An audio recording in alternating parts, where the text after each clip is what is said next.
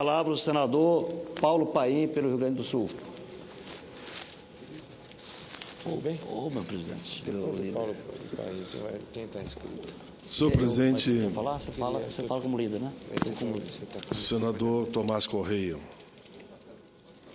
Eu tenho trabalhado muito no Estatuto do Motorista, fui relator em plenário da lei que regulamentou a profissão dos motoristas, mediante um amplo acordo que houve entre empresários e trabalhadores. Depois da lei aprovada, em parte vetada, se criou um impasse com os caminhoneiros, principalmente do transporte internacional, dos autônomos e o chamado transporte de longa distância. Senhor presidente, eu fiz diversas reuniões com os caminhoneiros. Caminhoneiros de São Marcos, de Marau, de Caxias, de Juí, de Panambi, de Serafina Correia, enfim, de inúmeras cidades do Rio Grande. E eles me diziam, com a maior tranquilidade, o maior respeito, a importância da regulamentação da lei. Mas eles diziam, senador, como que a gente vai parar no horário razoável para que não dê acidente? Se eu estou transportando uma carga chamada química, o posto não aceita que eu pague. E se eu pagar na estrada, a polícia rodoviária também não aceita, porque é explosivo e é perigoso. E a lei manda que eu pague de quatro em quatro horas, descanse e meia. Como que eu faço? Se não existem os postos de pagada. Eu tranquilizei a todos que eles tinham razão, que se pagassem, eram multados. Se não pagassem, eram multados porque ultrapassaram o horário. Eu dizia a eles todos, nas reuniões que tive, inclusive em Porto Alegre, que eu acreditava no bom senso do governo da presidência Dilma. E dizia a eles que eu apostava que seriam prorrogados os prazos para que os postos de pagada então fossem garantidos efetivamente. Tive ontem ainda reunido com os líderes dos trabalhadores e dos caminhoneiros autônomos, como o LIT, por exemplo, e eles me diziam que iam para uma reunião decisiva. Eu quero dizer que fiquei muito contente com a decisão adotada pelo Ministério do Transporte, pelo DENIT, enfim, que pelo prazo de 180 dias, ou seja, 3 vezes 6, 18, né? Seis meses, os caminhoneiros não serão multados, porque não dá para multar, porque não tem os postos de paradas. E nesse período, o governo, então, vai trabalhar para é, adequar condição nas estradas que eles possam pagar. Claro que a lei que nós todos aprovamos aqui e tiveram alguns vetos, a lei é, é, ela vai na linha de combater os acidentes no trânsito, que é uma preocupação enorme de todos nós. Mas, pelo outro lado, você não pode obrigar o cara a pagar se ele não tem onde pagar. Né? Por isso que eu estou cumprimentando, senhor presidente, nesse meu pronunciamento, o, o, governo federal, via o Conselho Nacional de Trânsito, o CONTRAN, atendeu uma reivindicação dos movimentos dos caminhoneiros, dos trabalhadores e dos empreendedores. Esses profissionais que também exercem sua função nas estradas, levam o desenvolvimento a todos os cantos do nosso país, verdadeiros bandeirantes do século XXI, têm que serem atendidos e foram atendidos pelo governo da presidenta Dilma. Falo da justa resolução que recomenda a fiscalização do cumprimento da lei somente daqui a 180 dias. O governo publicará em 180 dias uma lista com as rodovias em condição para a parada. E naquelas rodovias que não tiver condição de pagar, ele não vai pagar. Porque, como é que chama? Se correr, o bicho pega, se pegar, o bicho come, né? Se pagar é multado, se não pagar também é multado. Porque ali não pode estacionar. Então eu quero cumprimentar a sabedoria, com a presença aqui do líder Eduardo Braga, do nosso governo, que atendeu a reivindicação dos caminhoneiros. É, quando foi pedido para sancionar a lei, eu pedi, eu vim à tribuna, Depois houve um desencontro, porque alguns pontos foram vetados. O governo, de forma com muita sabedoria, reuniu os caminhoneiros, os líderes de empresários, de trabalhadores, e construiu esse acordo. Né? E durante 180 dias, vamos buscar o ajuste, então, nessa jornada, e eles não serão multados, até que os postos chamados de parada sejam adequados de forma tal que todos se sintam contemplados. Eu hoje pela manhã recebi inúmeros telefonemas de caminhoneiros do Rio Grande e de outras partes do país cumprimentando a decisão do governo da presidenta Dilma. Eu que fiz o apelo inúmeras vezes aqui na tribuna e dialoguei com os líderes do movimento, me sinto contemplado me lembro que na última apagada que houve, eles vieram aqui a Brasília, conversaram comigo na Comissão de Direitos Humanos e me disseram, pai, se não tiver uma saída, nós vamos ter que pagar o dia 26, lá atrás, como pagaram, né? E a partir daí começou uma intensa negociação com o governo da presidenta Dilma, que encontrou é, uma saída negociada. Teremos então seis meses para negociar alternativas que permitam ter uma política de combate aos acidentes sem inviabilizar de forma alguma o trabalho dos caminhoneiros. Esses caminhoneiros, como eu digo, que são verdadeiros heróis, né? Eles transportam o Brasil nas costas, seria o termo, né? Nas costas, digo no caminhão, né? E que nesse momento, com certeza, meu senador, Tomás Correia, estão ouvindo pela Rádio Senado, ou mesmo aqueles que porventura tiverem já na sua residência, eh, essa boa notícia que vai haver aí uma flexibilização de seis meses e nesse período tenho certeza absoluta que nós haveremos construir um grande entendimento. Senhor presidente, quero também fazer um outro registro, para mim muito importante, porque recebi um manifesto chamado Carta Aberta da FENES aos senadores da República. O que, que eles dizem aqui, senhor presidente?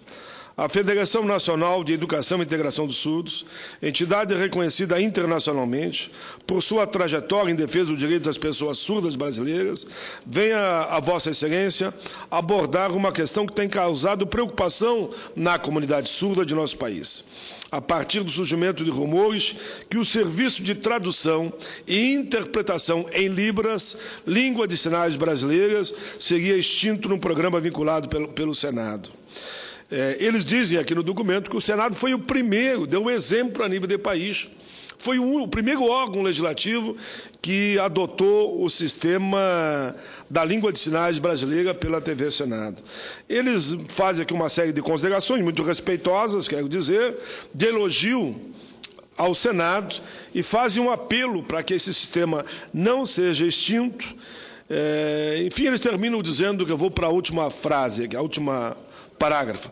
Dessa forma, solicito a Vossa Senhoria que, quanto representante do povo brasileiro e das pessoas com deficiência, é, interceda com a devida cuidado, mas com a máxima urgência, na defesa dos direitos de surdos e surdas, usuários das Libras como sua primeira língua, que necessitam e desejam que a janela de tradução seja mantida, inclusive ampliada, até que esteja disponível na totalidade na programação da TV Senado.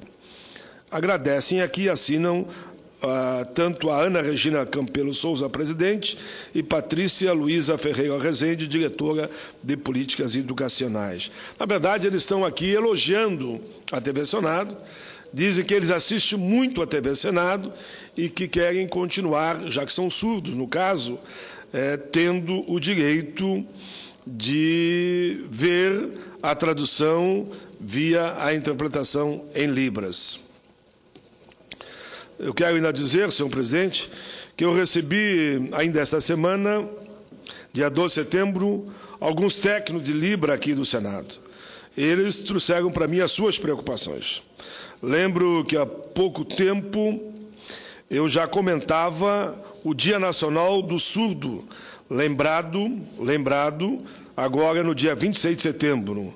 O senador Rodrigo Hollenberg, que está aqui nesse plenário nesse momento, quero destacar, senador Rodrigo Hollenberg, que essa é a linha da minha fala, que a seu pedido aprovei hoje na Comissão de Direitos Humanos, seguindo a orientação da sua comissão que já aprovou, uma audiência pública que provavelmente será na terça, onde Vossa Excelência vai receber centenas de surdos que nessa comissão, que será presidida por Vossa Excelência, eu nem estarei aqui, quero dar esse destaque a Vossa Excelência, que Vossa Excelência fique tranquilo que eu vou presidir as duas comissões e vou recebê-los na linha de, de encaminhar a reivindicação para que eles possam manter vivo o sistema de Libras. É, eu quero aqui enfatizar o Senado Federal recebeu recentemente um grupo de mais de 5 mil surdos que vieram aqui debater a, educação inclusiva, com a presença, inclusive, num desses momentos, da ministra Maria do Rosário. Quero dizer aqui que, senhor presidente, que nós entendemos que o, Senado deve olhar com carinho essa questão. Né? Eu fazia recentemente uma palestra no estado do Rio Grande do Norte sobre a questão das pessoas com deficiência. E lá me questionavam já se isso iria acontecer. Eu disse que não. Havia um debate e queria, juntamente com outros senadores, encaminhar na linha de que o sistema de Libra seja mantido. Por fim, senhor presidente, eu ainda quero aproveitar para falar sobre o mesmo tema. Quero falar da tribuna nesse momento de um tema que tem estimulado muito o nosso trabalho aqui no Senado e toca corações e mentes.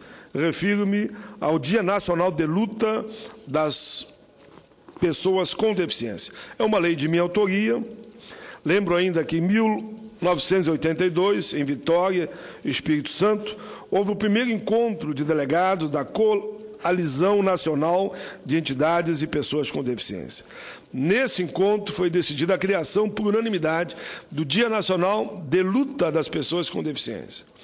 Proposta do saudoso companheiro Cândido Pinto, pernambucano, radicado em São Paulo, militante do movimento pelos direitos da pessoa com deficiência. Em sua justificativa, que eu recebi e apresentei como projeto e virou lei, Cândido Pinto lembrava: 21 de setembro indica a entrada da, da primavera, tempo de flores, de campos verdes, onde os pássaros cantam mais, onde as águas ficam mais transparentes. Por assim dizer, o surgimento da esperança de tempos melhores para um segmento fortemente marcado pela discriminação e pela opressão.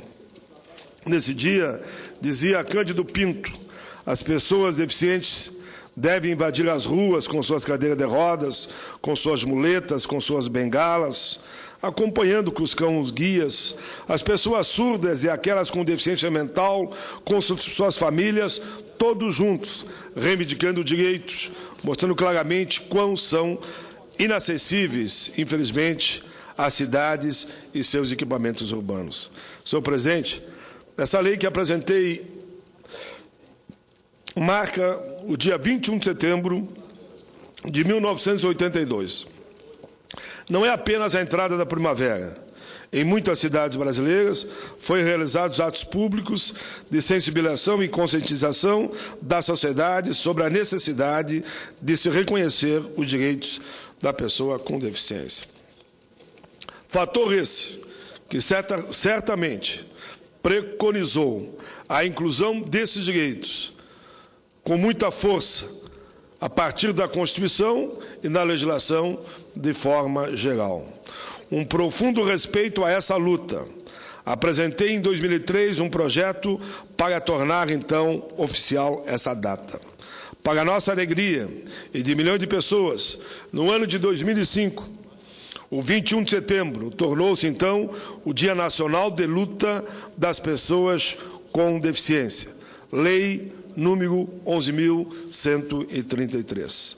A luta do movimento das pessoas com deficiência, entretanto, continua. Ainda existe uma caminhada importante a ser percorrida na ampliação e modernização da legislação para a área conforme determina a própria Convenção Internacional sobre os Direitos da Pessoa com Deficiência, que aqui o Senado aprovou por unanimidade.